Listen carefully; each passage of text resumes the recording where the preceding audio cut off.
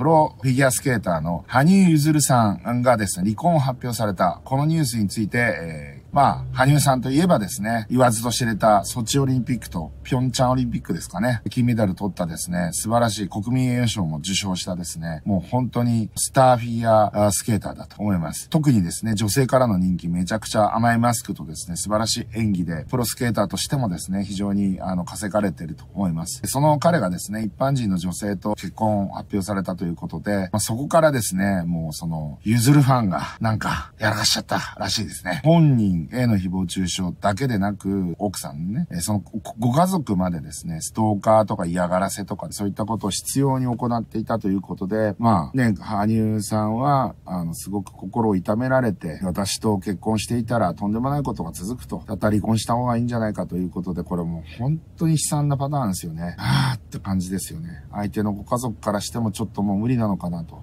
昔からこういうアイドルが結婚するとかですね、そういうのありました。しかしながら、当時はテレビとか、マスメディアとかしかなかったんで、なかなか住所の特定だったりとかですね、え名前の特定、こういったものが難しかった時代だし、まあ、守ってたと思うんですよね。一部週刊文春とかですね、フライデーみたいなクソ雑誌が個人情報を晒したりとかしてましたけれども、今はもうネットで、はい、多分、羽生くんとかだとガールズチャンネルとかでですね、クソみたいな女がクソみたいな書き込みしてると思うんですけど、ほんと腹立たしいよね。SNS でそういったことが、まあ簡単に相手の人名とか相手の家族とか住んでるところとかですね、もうすべてが特定されるような、そういう特定をするための、そういうの探すのが得意なやつがいたりとかして、それで個人情報をさらされてですね、もう一回さらされると、まあ、魚拓に取られて、もう情報が永遠に消えないみたいな話になってしまうので、まあそういう意味で言うと、まあ今回の羽生さんの奥様は本当にかわいそうなパターンだったんじゃないかなというふうに思います。いやー、だから結婚とかしたくないよね。結婚とかすると、まあ相手の人たちとか相手の家族にまでこうやって迷惑を、何かがあった時にですね、迷惑をかけてしまったりとかする。まあそれをしかもなんか良しとしてしまうような奴らとかがバッコしてる、こんな社会は本当になんとかしたいと思いますけれども、いやー本当ね、もう最悪の結果になってしまいましたね。本当はこういったところでですね、当局、警察とかですね、検察動きゃいいのに、あいつらね、動かないんだよね、本当に。どうしようもねえよ。